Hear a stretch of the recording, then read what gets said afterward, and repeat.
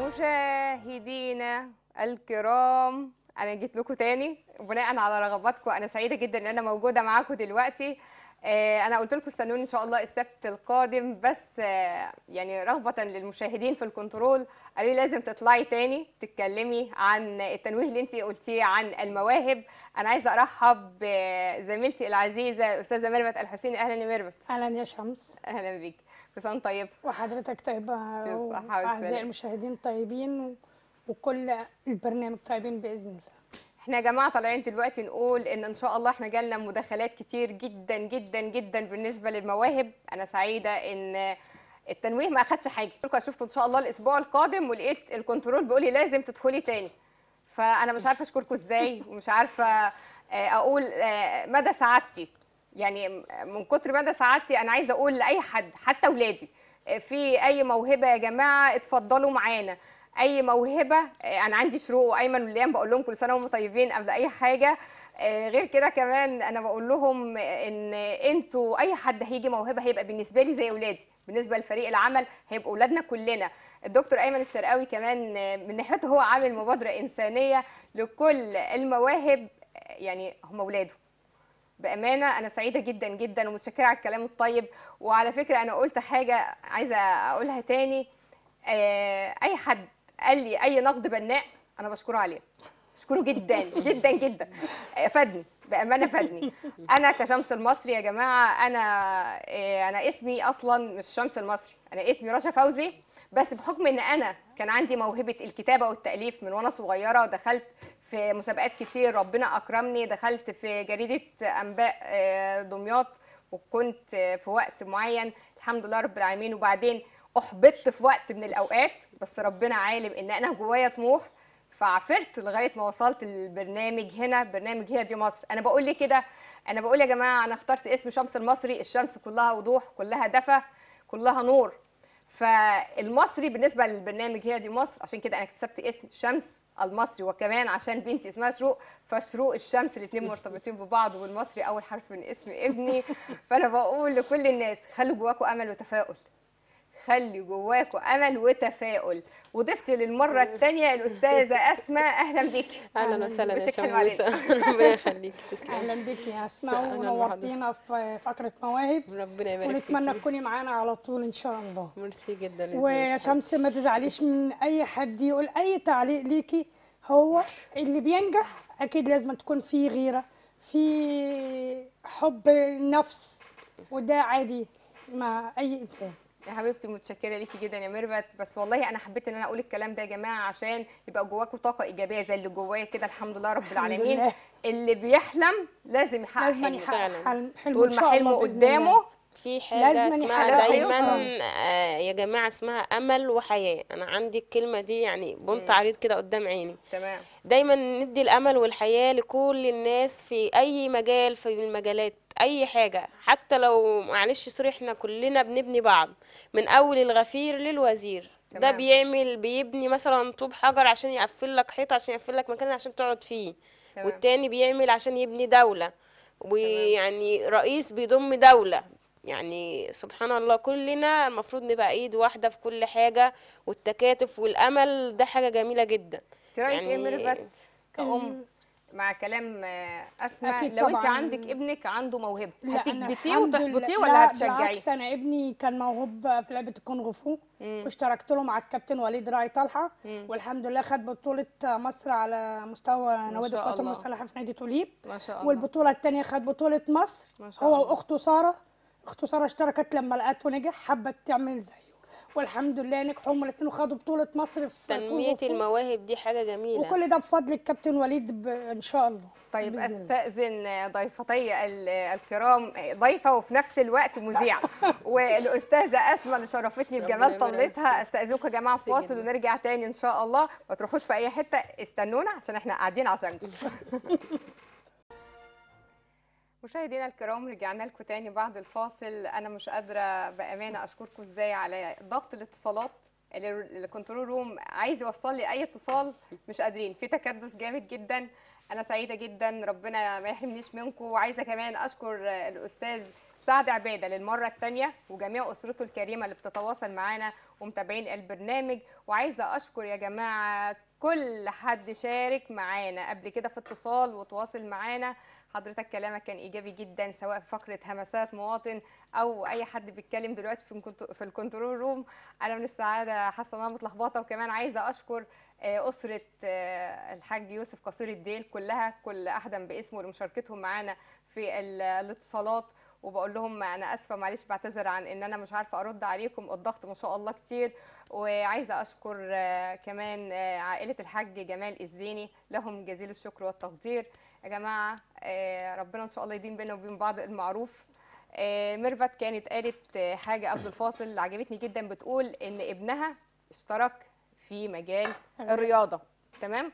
وبعد ما ربنا أكرمه وأخد ما شاء الله مركز أول أخته تعدت منه. يعني مش العدوى يا أولاد وجع عام الأطفال الصغيرين مش العدوى هي اللي بتأذي. لا السلبية في الموهبة هي كمان اللي بتأذي. لما يبقى في كلنا جوانا طاقة إيجابية كده حتى لو في مجال رياضة ونتعادى من بعض ونلعب رياضة جوه البيت نشترك بعد كده في مجالات لما ربنا يرفع الغمة إن شاء الله نشترك في مجالات مختلفة بإذن. الله حتى في مجال الرياضة إحنا معاكم. إحنا معاكم قلبا وقالبا.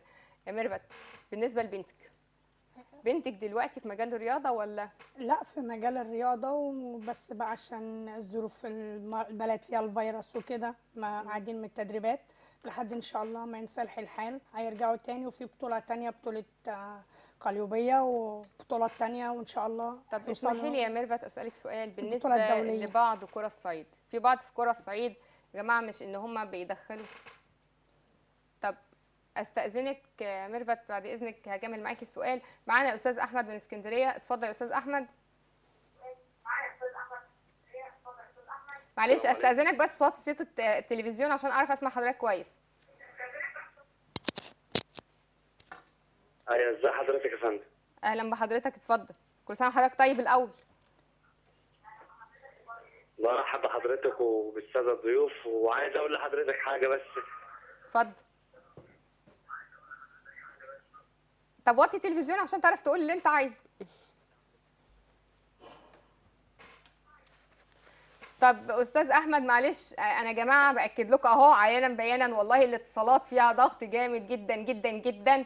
فمعلش هو الخط قطع بس إن شاء الله بإذن الله حضرتك حاول تتواصل معانا تاني يا أستاذ أحمد. أرجع لك يا ميرفت بقول لك أنت إيه رأيك في بعض قرى الصعيد اللي بتمنع بناتها أساسا من التعليم؟ لا طبعا دي ظاهرة غير صحية لأن أصلا المفروض البنت تعلى وتحافظ على نفسها وتتعلم ومخها يتنور بالعلم. الرياضة بالتفكير بالشعر بأي أي حاجة أي موهبة هم بيحبوها لازما يتابعوها ولازما الأهل هم اللي يشجعوا أولادهم على كده لأن الطفل من غير تشجيع الأهل عمره ما هيطلع لقدام ولا عمره هيتطور للأحسن. كلام ميرفت كلام سليم جدا جدا جدا. يا جماعة إحنا لازم نستغل القعدة اللي إحنا قاعدينها في البيت دي هرجع وأقولها تاني ومش هبطل إن أنا أقولها. نستغل قعدتنا في البيت. كروشيه آه، تريكو. آه، تأليف كتابة تلحين غنى حفظ قرآن آه، معاملات حسنة بينا وبين بعض. برضو حتى نحاول. يعني دور برضو الراجل برضو في البيت طبعا في ظل الظروف وما فيش شغل وما فيش الكلام ده كله. مم. أنا بوجه كلمة للستات يعني المفروض يعني إحنا يعني الرجاله قوامون على النساء. في الفترة دي الفترة دي صعبة. خلاص هنشيل بعض هنستحمل بعض في كل الظروف والضغوطات دي. فالمفروض نكون يعني حاجة كويسة لطيفة كده في البيت. انتي كنت زمان بتتمني ان هو يقعد معاكي سوري عشر دقايق نص ساعة بس. فهو دلوقتي خلاص already بقى أمر واقع وبقى قاعد في البيت. خلاص مفيش حل تاني. فخلاص يبقى انتي بقى إيه خلاص نلطف جو جميل نلعب كوتشينة آه، دومنة أي حاجة. المهم إن إحنا نخرج من الجو اللي إحنا فيه ما هو ده. الأفيد إن هو ليه لأ؟ يعني الرسول عليه الصلاة والسلام كان بيحيك إيه؟ ثوبه لما كان بيبقى حاجة كان بيساعد أهل بيته. يساعد أهل فعلاً. بيته. مين فينا ما يتمناش إن يبقى فيه ذرة ذرة واحدة بس من أي الرسول حاجة في الرسول عليه الصلاة والسلام. عليه الصلاة والسلام أنا عايزة يا جماعة أقول مش عيب لما الراجل يدخل المطبخ يساعد مراته. والله ما هو عيب. ولا بالعكس. أي حاجة ده أنت. كده بتثبت حبك لمراتك مش إن أنت روحي اعملي لي شاي آه شيلي الأطباق اعملي شاي. لا حاول إن أنت تكون أقرب. وما ده وقت تقارب. وبيكون في أطفال مثلا. صبيان في البيت أصلا وبيشوف والده بيتعامل بنفس الأسلوب ده. بيطلع يتربى على نفس الطبع والحنية وال- والطيبة وال... وال... والألفة بينهم وبين بعض فعلا فعلا. فبتبقى الحياة الأسرية هادية وجميلة جدا يعني وبرضو عندي كمان رأي يا. شمس إن المفروض الأب يتابع ولاده فرصة وجات له إن هو يقعد معاهم كان بحجة الشغل هو مش فاضي يقعد مع الأولاد دلوقتي الفرصة جت ولازم يتابع معاهم يصاحبهم ويشوف ويحتويهم أفكارهم إيه. بيفكروا في إيه إيه طموحاتهم كان إيه أحلامهم كلامك صح كان في لأن مم. الأولاد مم. كانش الأب ينتبه لهم تمام ما كانش يعرف حاجة عن ما ولاده في بعض هيكونوا- فعلا ما آه، يعرفوش حاجة عن ولادهم كتير ما يعرفوش أي حاجة عن ولادهم والله ولا كله ميولهم ولا أي بيبقى على. الام للأسف. الفترة اللي ال- الراجل ما بيكونش موجود في البيت.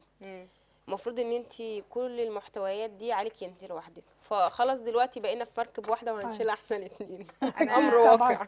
أنا يا جماعة عايزة أقول حاجة إحنا كان كل ما ابننا يغلط غلطة أو بنتنا أقول أنا هتصل بباباكي عشان تقعدي ساكتة. أنا هتصل مش دلوقتي باباكي موجود مقيم معاكي. يلا بقى كله عيانا بيانا ورينا الهمة بقى. ورينا الهمة في كل حاجة. دايما اللي يعني نفسي يعني أفهم كل الأسر فيها إن هي دايما العنف والأسلوب الأسري اللي بيحصل لازم يكون ليه حد إن هو ما يحصلش قدام الأطفال خالص. أنا يا جماعة بشكر يعني زميلتي العزيزة ميرفت. أنا آه. سعيدة بوجودي معاكي في الفقرة النهارده. شرف ليا إن أنا إن شاء الله أكون موجودة معاكي بعد كده في مواهب بإذن الله. هبقى يا جماعة بعد كده إن شاء الله موجودة معاكم في برنامج هي دي مصر همسات مواطن ومواهب. وأنا بتعهد قدامكم إن شاء الله على قدر استطاعتي بإذن الله بوجود الأستاذ أسعد حسن كمستشار قانوني للبرنامج إن إحنا نوصل قضاياكم زي ما أنا قلت لكم قبل الفاصل بإذن الله إن إحنا هنحاول على قدر استطاعتنا إن إحنا نكون معاكم نوصل همساتكم لاعلى المستويات. كمان مواهبكم يا جماعة إن شاء الله هنحاول إن إحنا نقف جنبها ونتكاتف معاها ونوصلها بالقدر الكافي للي هي عايزاه. أنا بشكر استاذه أسماء شرفتيني ونورتيني؟ في الفقرتين وشك كان حلو علينا. جدا وإن شاء الله ما. نتحرمش من طلتك الجميلة معانا ربنا يبارك أنا عايزة يا. جماعة أقول إن ربنا سبحانه وتعالى آه، قال لنا إن إحنا كلنا في القرآن الكريم أو الرسول عليه السلام في السنة النبوية صلى إن إحنا. عليه الصلاة والسلام إن إحنا لازم يبقى بينا وبين بعض تعاون حتى الزوج والزوجة لازم يبقى بينا وبين بعض مودة ورحمة آه، ربنا قال بسم الله الرحمن الرحيم إنا خلقنا لكم من أنفسكم أزواجا لتسكنوا إليها وجعلنا بينكم مودة ورحمة. صدق الله العظيم. آه، صدق الله العظيم. عايزة أقول في آخر آه، كلامي أقول دعاء. يا رب اللهم يا منزل الكتاب يا سريع الحساب يا فارج الهم والغم يا منزل البلاء. اللهم ارفعه عنا. اللهم لا تؤاخذنا بما نسينا أو أخطأنا ولا تحملنا ما لا طاقة لنا به. واعف عنا واغفر لنا وارحمنا. اللهم ربنا يا من أكرمتنا ببيتك الحرام. ويعني في ظل هذا الوباء يا رب حرمنا منه. حرمنا منه. أنا بسمع يا رب دعاء المؤذنين. أنا بتدمع العين للأذان. فين حي على الصلاة؟ حي على الفلاح. اللهم ربنا ردنا إلى بيوتك ردا جميلا يا رب. أكرمنا يا كريم بالصلاة في بيوتك والوقوف بين يديك. اللهم لا تحرمنا يا رب العالمين من طاعتك. أنت ولي ذلك والقادر عليه. أنا بقول يا جماعة كلنا نستغفر ربنا سبحانه وتعالى على قدر الإمكان. عشان أول مرة نتحرم من صلاة التراويح. أول مرة نتحرم من صلاة التراويح. أول مرة نتحرم من صلاة المساجد. في ناس كتير كانت بتسمع صوت الأذان وكان بيبقى واقف قدام الجامع بيكمل كلامه وما يدخلش يصلي. يا جماعة إحنا لازم لو نعرف يا شمس. إن إحنا اسمحي لي ميرفت إن إحنا دلوقتي في وقت لازم نكون إلى الله أقرب من أي حاجة قبل كده. أنا بشكركم آه، كنت سعيدة بوجودي معاكم متشكره جدا لكل اللي تواصلوا معانا وما قدروش يوصلوا لي عن طريق ال- التليفون دلوقتي للضغط الشديد اللي كان موجود. آه، أنا بشكر كمان كل أصدقائي الموجودين معايا على آه، وسائل التواصل الاجتماعي. متشكرة جدا ليهم لكل الكلام الإيجابي اللي قالوه. ألقاكم إن شاء الله بإذن الله على خير. السبت القادم بإذن الله. آه، إن شاء الله ربنا يتقبل دعائنا بإذن الله ويعفو عنا ويعافينا. أشوفكم إن شاء الله على خير. ودمتم في أمان الله وحفظه. والسلام عليكم ورحمة الله تعالى وبركاته.